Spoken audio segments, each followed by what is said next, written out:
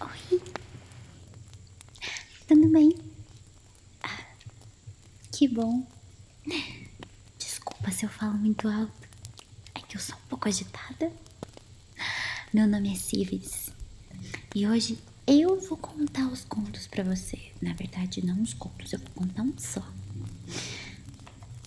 Mas eu não posso ficar muito tempo, então não sei se vai dar tempo de contar inteiro. Mas eu prometo que volto. Tá bom? Então tá. Não vamos demorar muito, tá? Bom, comecemos então. Quando criança, Zeng idolatrava o pai, Liu Zi. Isso foi durante o reino de Kublai Khan. Kublai Khan, na China antiga, muito antes da Europa dominar os mares. E o pai dele era um famoso explorador marítimo. As pessoas diziam que no sangue de Liu Zi corria as águas do oceano. Aos 40 anos, ele havia realizado mais do que qualquer marujo que o procedera. Tinha mapeado toda a costa leste da África, feito contato com tribos desconhecidas no interior da Nova Guiné e de Bornéu, e tomado posse de novos territórios para o Império. Nesse périplo, enfrentara piratas e bandidos, sufocaram um motim e sobrevivera a dois naufrágios. Na Baía de Tianjin havia uma grande estátua de ferro dele, olhando nostálgico para o mar.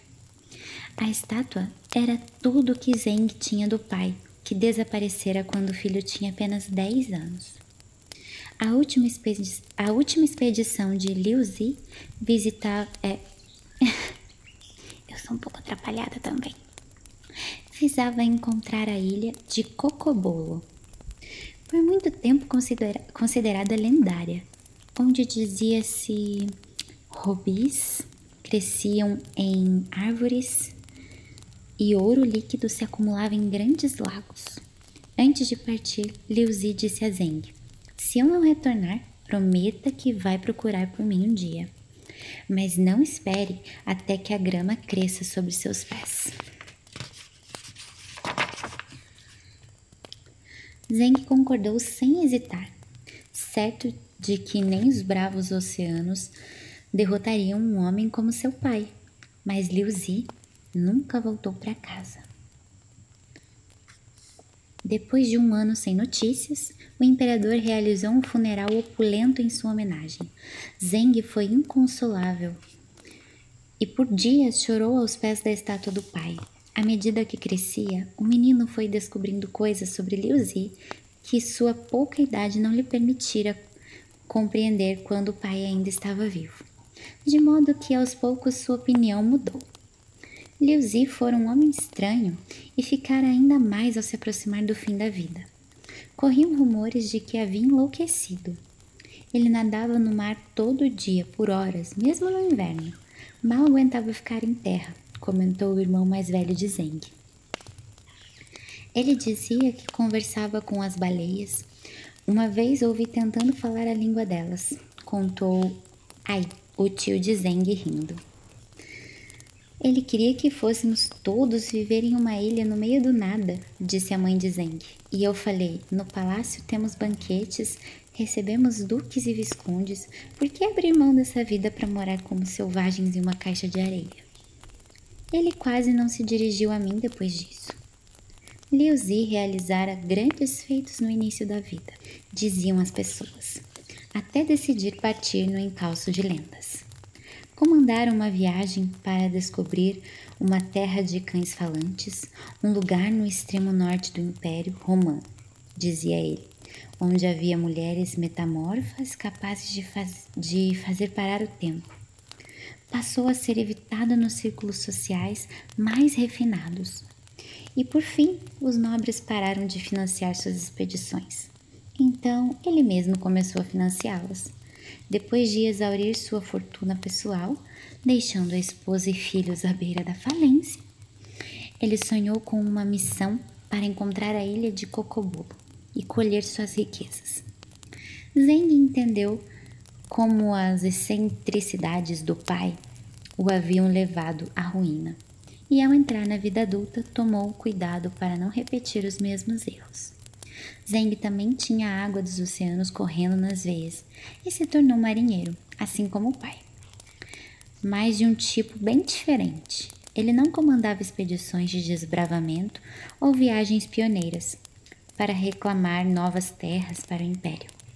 Era um homem extremamente prático, um comerciante e administrava uma frota de navios mercantes. Não se arriscava, por isso não navegava pelas rotas favoritas dos piratas e nunca se afastava de águas familiares. Era muito bem sucedido em seu ofício.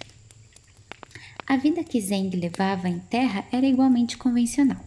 Frequentava banquetes no palácio e era amigo de todas as pessoas certas.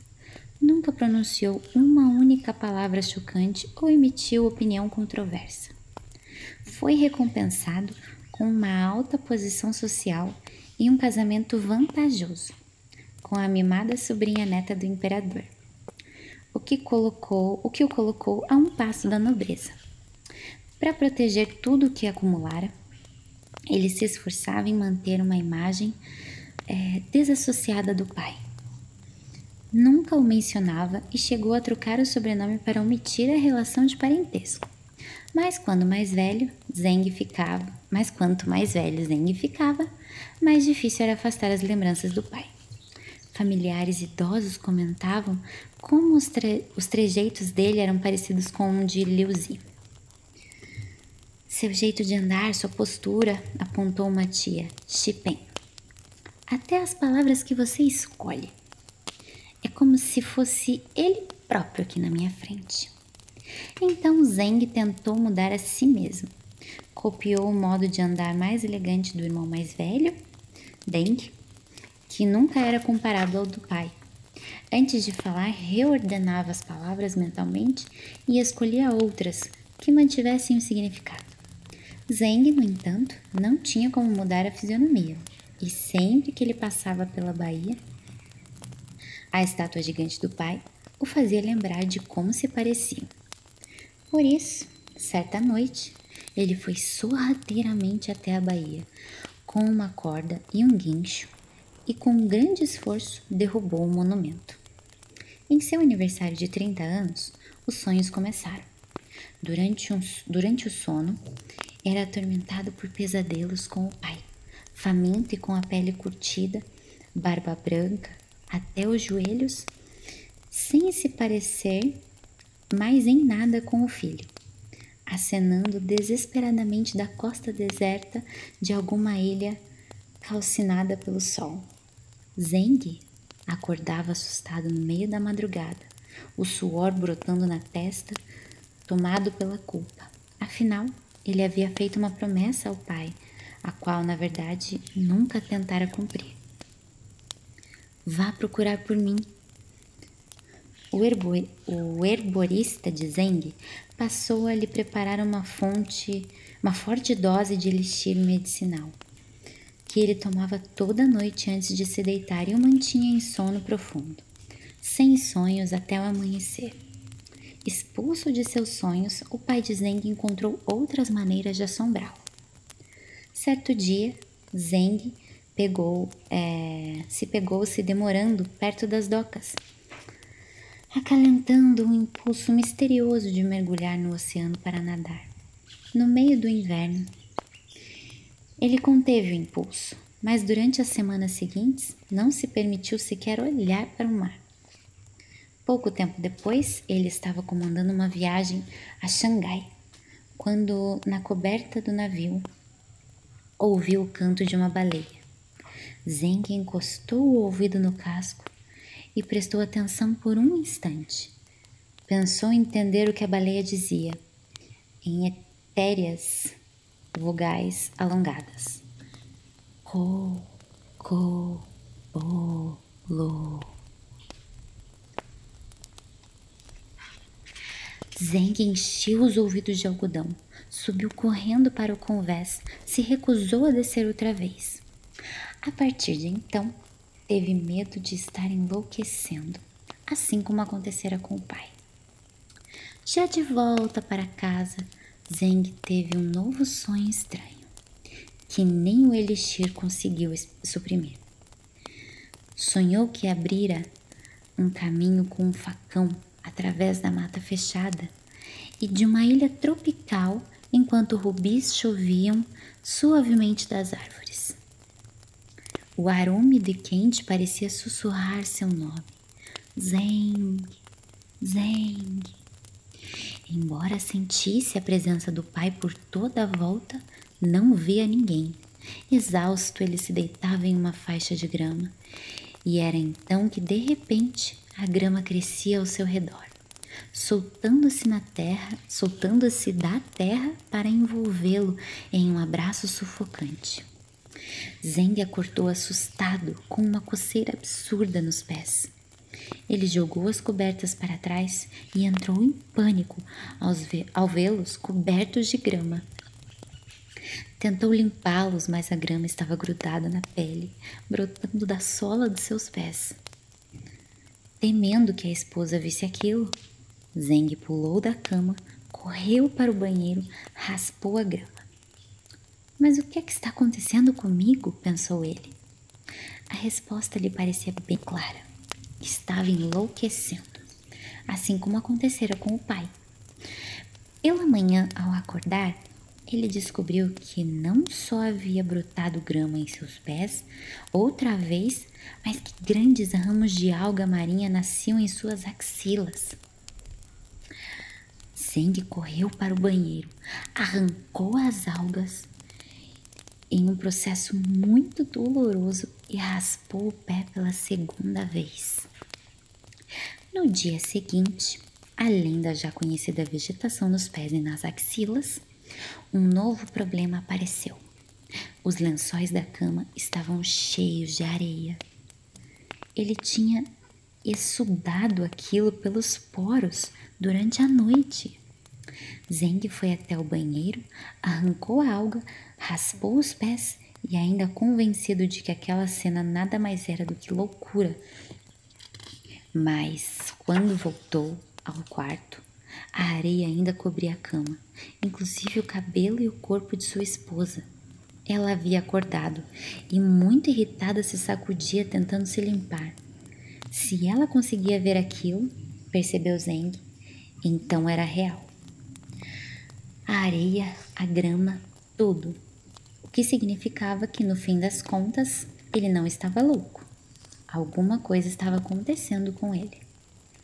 Zeng foi ver o herborista, que lhe deu uma, um cataplasma mal cheiroso para esfregar por todo o corpo. Como isso não funcionou, ele foi a um cirurgião, que alegou não haver nada a fazer além de amputar os pés e fechar os poros com cola, o que obviamente não era uma possibilidade aceitável. Zeng então procurou um monge mas pegou no sono durante as orações e, quando acordou, descobriu que havia coberto de areia o mosteiro. O monge o expulsou dali enraivecido. Parecia não haver cura para o mal que lhe afligia e os sintomas só pioravam. A grama em seus pés agora crescia o tempo todo, não apenas à noite. As algas o impregnavam com um cheiro de praia na maré baixa A esposa de Zeng passou a dormir em outro quarto e ele temia que seus parceiros de negócio o evitassem se soubessem de sua condição. Temia cair em ruína. Desesperado, começou a considerar tal ideia de amputar os pés e fechar os poros com cola. Mas em um lampejo de memória repentino, as últimas palavras do pai lhe soaram claras nos ouvidos. Não espere até que a grama cresça sob seus pés. Aquele sentimento misterioso que o intrigara por muitos anos agora fazia todo sentido. Era uma mensagem, uma mensagem em código. O pai sabia o que aconteceria com Zeng, sabia porque aquilo tinha acontecido com ele próprio. Os dois tinham em comum não apenas os traços, o andar e o jeito de falar. Eles tinham aquela mesma doença estranha. Vá procurar por mim, dissera Liu Zi. e não espere até que a grama cresça sob seus pés. Liu Zi não tinha partido à procura de uma fortuna lendária, tinha partido em busca de uma cura, e a esperança de Zeng de algum dia viver uma vida normal, sem aquela peculiaridade, dependia de cumprir a promessa do pai, a promessa feita ao pai. Naquela noite, durante o jantar, ele anunciou suas intenções para a família. Estou me preparando para uma viagem à procura de nosso pai. Todos ficaram incrédulos. Outros já haviam tentado o mesmo e falhado, lembraram Zeng. É, o imperador tinha financiado diversas buscas, mas jamais fora encontrada pista alguma do homem nem de sua expedição. Porque Zeng, um mercador que jamais se afastara da segurança de suas rotas, esperava ter mais sorte na empreitada. Eu vou conseguir, vocês vão ver, disse Zeng. Só preciso encontrar a ilha. Você nunca a encontraria, nem se fosse o melhor navegador de todo o mundo. Como eu poderia encontrar algum lugar que não existe? Disse a tia Xi. Zeng saiu determinado a provar que a família estava enganada. A ilha existia sim, e ele sabia exatamente como encontrá-la parando de tomar o elixir medicinal antes de dormir e deixando que os sonhos o guiassem. Se aquilo não funcionasse, ele escutaria as baleias. Seu imediato também tentou desencorajá-lo. Mesmo que a ilha de fato existisse, argumentou, todo marinheiro que afirma tê-la visto jurava que não era possível chegar até lá. Segundo eles, a ilha se movia à noite. Como vai desembarcar em uma ilha que foge de você? perguntou imediato, encomendando o navio mais rápido já construído. Respondeu Zeng. Zeng gastou grande parte de sua fortuna construindo esse navio, e, é, que ele batizou de improvável. O homem quase foi à falência. Precisou assinar notas promissórias para contratar a tripulação. Sua esposa ficou lívida ao saber disso. Desse jeito vamos parar no abrigo de indigentes, exclamou. Vou ter que lavar roupa para fora se não quiser passar fome. Vou encher os meus bolsos de rubis quando encontrar coco-bolo. Quando eu voltar, serei mais rico do que nunca. Você vai ver. O improvável içou as velas. Os rumores diziam que Cocobolo ficava a sudoeste de Ceilão, no Oceano Índico. Mas a ilha nunca fora avistada duas vezes no mesmo lugar. Zeng parou de tomar o elixir e aguardou os sonhos proféticos. Enquanto isso, seguia no improvável para Ceilão. Ao longo da expedição, a tripulação entrou em contato com outras embarcações em busca de informações sobre Cocobolo. Avistei a ilha leste três semanas atrás, na direção do Mar Arábico, disse um pescador apontando para o sul, para o azul do horizonte. O sono de Zeng foi decepcionante, sem sonhos. Por isso eles navegaram para o leste. No mar Arábico encontraram o capitão de um navio que alegou ter avistado duas vezes a ilha. No oeste, perto de Sumatra. A essa altura, Zeng tinha voltado a sonhar, mas era um sonho sem qualquer significado. Por isso navegaram para o oeste. Em Sumatra, um homem gritou do alto de um penhasco, de um penhasco marinho, que Cocobolo acabara de ser vista a sudoeste, perto de Tinadu. Você acabou de perdê-la, disse o homem. E assim a viagem prosseguiu por meses. A tripulação ficou inquieta e houve ameaças veladas de motim. O imediato insistiu, que, insistiu com Zeng para que ele desistisse. Se a ilha fosse real, a essa altura já teríamos a encontrado, disse o imediato. Zeng suplicou por mais tempo. Ele passou aquela noite rezando por sonhos proféticos e no dia seguinte se dirigiu à coberta e encostou a orelha na parede do casco, tentando ouvir o canto das baleias. Sem ouvir os cantos ou ter sonhos, Zeng começou a entrar em desespero. Se voltasse para casa de mãos vazias, sem dinheiro e sem uma cura, certamente a esposa o deixaria, a família o evitaria e os investidores o recusariam a financiá-lo, levando-o ao fracasso completo. Zeng parou na, pro, na proa do navio, desanimado, e ficou contemplando a turbulenta água verde. Sentiu uma vontade repentina de nadar e dessa vez não a reprimiu. Ele atingiu a água com uma força incrível. A corrente forte e absurdamente gelada o puxava para baixo. Zeng não lutou contra a força da água, então percebeu que estava se afogando. Da escuridão emergiu um olho gigante, suspenso em uma parede de carne cinza. Era uma baleia, indo rapidamente na direção de Zeng. Quando ia colidir com ele, a baleia mergulhou e desapareceu de vista. Na mesma hora, os pés de Zeng atingiram algo sólido. Era a baleia, o empurrando por baixo, impulsionando-o para cima. Eles romperam a superfície juntos, com Zeng tossindo água dos pulmões. Alguém do navio jogou uma corda para ele, que a amarrou na cintura, mas quando estava sendo puxado, ouviu a baleia cantar. Seu canto dizia: Siga-me.